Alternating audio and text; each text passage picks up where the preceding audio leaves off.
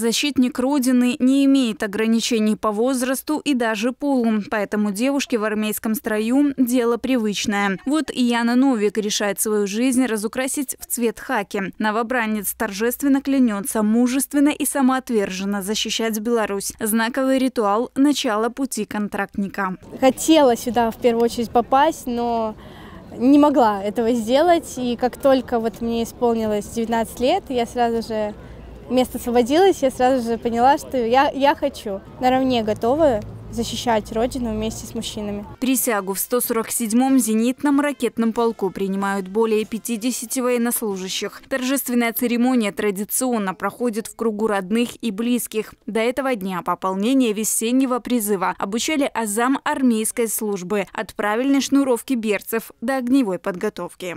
Они прошли уже определенный этап, возмужали, уже родители увидели, что они изменились достаточно сильно, получили определенные навыки и дальше будут проходить свое обучение в вооруженных силах. Клятву на верность Родине в эти выходные произносят тысячи бойцов срочной службы. В нынешнее время это приобретает особое значение, когда вокруг границ складывается непростая ситуация. В основе политики нашего государства – мир, стабильность, согласие и спокойствие. Но вызовы времени вынуждают быть начеку. Любое государство чего-то стоит, если умеет защищаться. Мы, безусловно, умеем защищаться, потому что личный состав настроен, люди идут в военкомат, люди не уходят от призыва.